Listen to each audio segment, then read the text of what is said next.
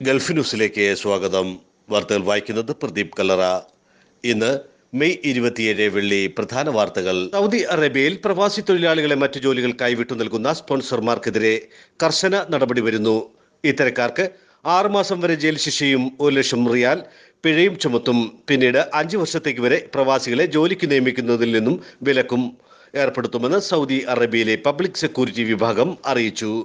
സ്വന്തം സ്പോൺസർഷിപ്പുള്ള തൊഴിലാളികളെ മറ്റുള്ളവർക്ക് വേണ്ടി ജോലി ചെയ്യിപ്പിക്കുന്ന സ്പോൺസർമാരും തൊഴിലാളികൾക്ക് വരുമാനമുണ്ടാക്കുന്നതിന് ഇത്തരത്തിൽ മറ്റു ജോലികൾ കൂടി ചെയ്യുവാൻ അനുമതി നൽകുന്നവരും കുടുങ്ങും.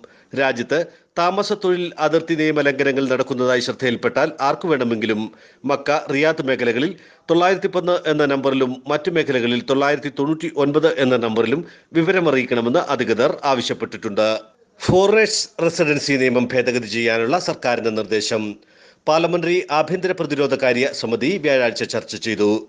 കമ്മിറ്റി ഈ നിർദ്ദേശത്തിന് അംഗീകാരം നൽകിയതായും ഇത് വോട്ടെടുപ്പിനായി നിയമസഭയിലേക്ക് റഫർ ചെയ്യുമെന്നും committee chairman M P Saadoun Ahmed സ്ഥിരീകരിച്ചു. ബില്ലിലെ പ്രധാന രേഖകൾ പ്രവാസികൾക്കുള്ള പരമാവധി റെസിഡൻസി കാലയളവിനായി അഞ്ചു വർഷം സജ്ജമാക്കുക. അതിനാൽ ഈ കാലയളവിന് ശേഷം അല്ലെങ്കിൽ റെസിഡൻസി പുതുക്കൽ അപേക്ഷ നിരസിക്കപ്പെട്ടാൽ അവർ രാജ്യം വിടേണ്ടതാണ്. വിദേശ നിക്ഷേപകരുടെ പരമാവധി റെസിഡൻസി കാലയളവ് പതിനഞ്ച് വർഷമാണ്. കുറ്റവാളികളല്ലാത്തവരെ വിവാഹം കഴിച്ച കുവൈറ്റ് സ്ത്രീകളുടെയും റിയൽ എസ്റ്റേറ്റ് വസ്തുക്കളുടെ ഉടമകളുടെയും കുട്ടികളുടെ പരമാവധി താമസ കാലാവധി പത്ത് വർഷമാണ്. പരമാവധി ഫാമിലി വിസിറ്റ് വിസ കാലാവധി മൂന്ന് മാസത്തിൽ നിന്നും ഒരു വർഷമായി ഉയർത്തിയിട്ടുണ്ട്.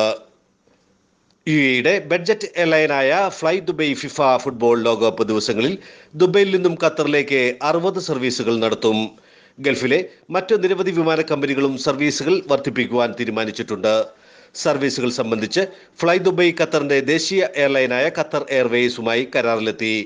Kuwait airways Oman air Saudia എന്നീ ഗൾഫി വിമാന കമ്പനികളും ലോകകപ്പിന് ആരാധകരെ എത്തിക്കുന്നതിന് ധാരണയിലെത്തിയിട്ടുണ്ട്. കുവൈറ്റ് എയർവേസ് ഇരുപതും ഒമാൻ എയർ നാൽപ്പത്തെട്ടും സൗദിയ നാൽപ്പതും സർവീസുകളാണ് നടത്തുക. ലോകകപ്പ് ടിക്കറ്റ് ലഭിച്ചവർക്കാണ് ഈ സമയങ്ങളിൽ ഖത്തറിലേക്ക് യാത്ര സാധ്യമാക്കുക. ഖത്തർ എയർവേസും വിവിധ ജി സി സി രാജ്യങ്ങളിൽ നിന്നും ലോകകപ്പ് സമയത്ത് പ്രത്യേക സർവീസുകൾ പ്രഖ്യാപിച്ചിട്ടുണ്ട്.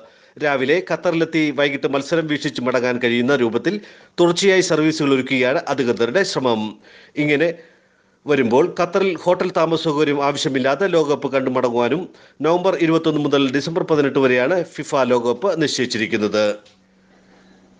ഇയിൽ ഇന്ന് രാവിലെ വരെ പൊട്ടിക്കാറ്റ് മുന്നറിയിപ്പ് നൽകിയിരിക്കുന്നു. ഫുജറയിൽ താപനില നാൽപ്പത്തിയഞ്ച് ഡിഗ്രി സെൽഷ്യസിൽ എത്തുമെന്നും ദുബൈയിലും അബുദാബിയിലും ഏറ്റവും ഉയർന്ന താപനില മുപ്പത്തിയെട്ട് ഡിഗ്രി സെൽഷ്യസ് ആയിരിക്കുമെന്നും നാഷണൽ സെന്റർ ഓഫ് മെറ്റീരിയോളജി അറിയിച്ചു.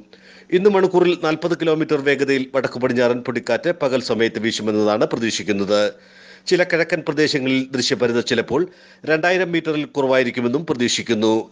അറേബ്യൻ ഗൾഫിലെ കടലിലെ അവസ്ഥ പ്രക്ഷുബ്ധവും ഒമാൻ കടലിൽ ചില സമയങ്ങളിൽ മിതമായതും പ്രക്ഷുബ്ധവുമായിരിക്കും. സൗദിയിൽ ഭക്ഷ്യവസ്തുക്കളുടെ വില ഉയരുന്നത് തുടരുന്നു. ഒരു വർഷത്തിനിടെ എൺപത് ഭക്ഷ്യവസ്തുക്കളുടെ വില വർദ്ധിച്ചതായി സൗദി കൺസ്യൂമർ പ്രൊട്ടക്ഷൻ അസോസിയേഷൻ പറഞ്ഞു.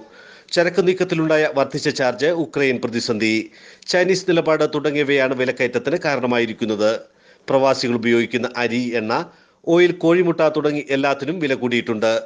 റൊട്ടി ധാന്യങ്ങൾ ഇറച്ചി കോഴിയിറച്ചി മത്സ്യം പാലും പാലുൽപ്പന്നങ്ങളും എണ്ണകൾ പഴവർഗങ്ങൾ പച്ചക്കറികൾ പഞ്ചസാര എന്നിവയുടെ എല്ലാം വിലകൾ ഒരു വർഷത്തിന് വർദ്ധിച്ചതായി കൺസ്യൂമർ പ്രൊട്ടക്ഷൻ അസോസിയേഷൻ പറഞ്ഞു. എൺപത്തൊൻപത് പശുവസ്തുക്കളിൽ എൺപത് എണ്ണത്തിന്റെയും വില ഒരു വർഷത്തിനിടെ വർദ്ധിച്ചു.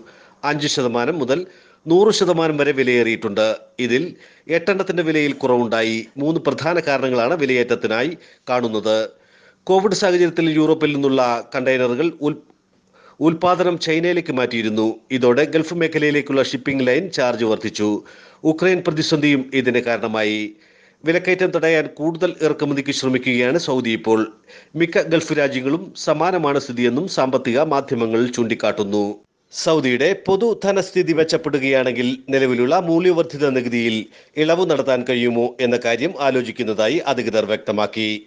ഈ മേഖലയിൽ പഠനം നടന്നുകൊണ്ടിരിക്കുകയാണെന്നും മൂല്യവർദ്ധിത നികുതി കുറയ്ക്കുന്നതുമായി ബന്ധപ്പെട്ട സാധ്യതകൾ ചർച്ച ചെയ്തുകൊണ്ടിരിക്കുകയാണെന്നും സൗദി ധനമന്ത്രി മുഹമ്മദ് അഹമ്മദ് ജദാൻ പറഞ്ഞു.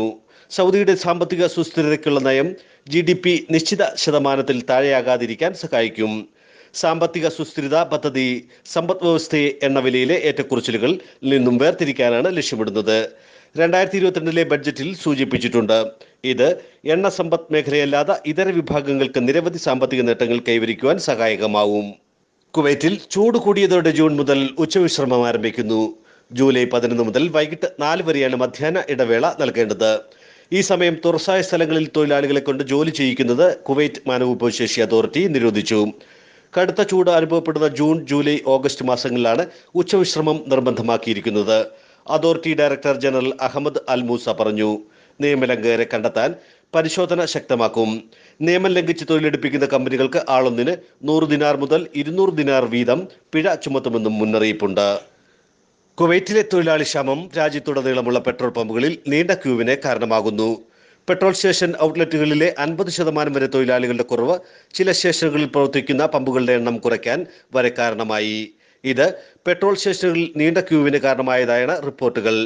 കൊറോണ പ്രതിസന്ധിയെ തുടർന്ന് വിദേശത്തു നിന്നും തൊഴിലാളികളെ കൊണ്ടുവരാൻ കഴിയുന്നില്ലെന്നും കുവൈറ്റിൽ ലഭ്യമായ പ്രാദേശിക തൊഴിലാളികളെ ഉപയോഗിക്കാൻ നിർബന്ധിതരാണെന്നും Oula fuel marketing company director board chairman Abdul Hussain Al Sultan പറഞ്ഞു. എന്നിരുന്നാലും പ്രാദേശിക തൊഴിലാളികൾക്ക് ഈ തൊഴിൽ പ്രവർത്തിക്കാനുള്ള യോഗ്യതയോ പരിശീലനമോ ഇല്ല. നീണ്ട ക്യൂ പരിഹരിക്കാൻ സ്വയം സേവന പമ്പുകൾ വർദ്ധിപ്പിക്കുക തുടങ്ങിയ ബദലുകൾ ഗ്യാസ് സ്റ്റേഷനുകൾ കണ്ടെത്തുകയാണെന്നും വൃത്തങ്ങൾ അറിയിച്ചു. ഇന്ത്യൻ ഉപരാഷ്ട്രപതി വെങ്കയ്യ നായിഡു ജൂൺ ആദിവാരം ഖത്തർ സന്ദർശിക്കുമെന്ന് ഇന്ത്യൻ വിദേശകാര്യ മന്ത്രാലയം വാർത്താക്കുറിപ്പിൽ അറിയിച്ചു. രണ്ടായിരത്തി ഇരുപത്തിരണ്ട് മെയ് മുപ്പത് മുതൽ ജൂൺ ഏഴ് വരെ ഗാബോൺ സെനഗൽ ഖത്തർ എന്നീ രാജ്യങ്ങളാണ് അദ്ദേഹത്തിന്റെ നേതൃത്വത്തിലുള്ള ഉന്നതതല സംഘം സന്ദർശിക്കുക. വെങ്കയ്യ നായിഡു ഇതായതുമായാണ് ഔദ്യോഗിക സന്ദർശനത്തിനായി ഖത്തറിൽ എത്തുന്നത്. ജൂൺ നാലിന് ദോഹയിലെത്തുന്ന അദ്ദേഹം ഖത്തറിലെ ഔദ്യോഗിക പ്രതിനിധികളുമായി ഭരണരംഗത്തെ പ്രമുഖരുമായി കൂടിക്കാഴ്ച നടത്തും. ഇന്ത്യക്കും ഖത്തറിനുമിടയിലെ ഉഭയകക്ഷി സഹകരണം മെച്ചപ്പെടുത്തുന്നതിനെ കുറിച്ചായിരിക്കും പ്രധാനമായും ചർച്ചകൾ നടക്കുക.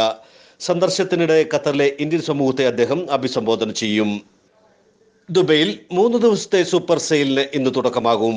ഇന്ന് മെയ് ഇരുപത്തേഴ് മുതൽ ഇരുപത്തൊൻപത് വരെ മൂന്ന് ദിവസത്തെ സൂപ്പർ സെയിൽ തിരഞ്ഞെടുക്കപ്പെട്ട ലൈഫ് സ്റ്റൈൽ സൗന്ദര്യം ഫാഷൻ ഇലക്ട്രോണിക്സ് മറ്റിനങ്ങൾ എന്നിവയ്ക്ക് തൊണ്ണൂറ് ശതമാനം വരെ കിഴിവ് ലഭിക്കുന്നതാണ് ഈ ഇനങ്ങൾ. നൂറിലധികം പ്രീമിയം ബ്രാൻഡ് സ്റ്റോറുകളിൽ നിന്നും ഷോപ്പർമാർക്ക് തിരഞ്ഞെടുക്കാമെന്ന് Dubai festivals and retail establishment അറിയിച്ചു. ഇതോടുകൂടി ഇന്നത്തെ സായന ഗൾഫ് ന്യൂസ് സമാപിച്ചിരിക്കുകയാണ്. കൂടുതൽ വാർത്തകളുമായി നാളെ ഇതേ സമയം കാണാം. നമസ്കാരം.